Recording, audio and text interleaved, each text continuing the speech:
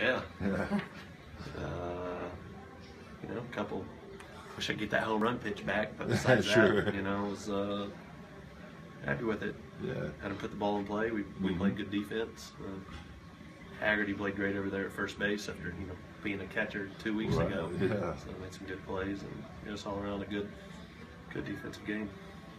Yeah, your catch. All three of your catchers, or three of your four catchers are out there tonight with Yeah. Austin and Rocky. Rocky had some couple good plays too. Yeah, great play that one on the slow roller. You know, Yeah. uh, you know, third basemen's of their whole life don't make that play Sure. that smooth. So yeah, it was a yeah, good job by our defense. Did you have anything in particular working for you tonight, or? Oh, you know, same thing. I've, I've strung together a few, few good ones. Just relax, not trying to throw the ball by guys, and you know, throwing four pitches. So, uh, you know, trying to being ahead in most of the counts, and then having off-speed stuff that I can throw behind in the count.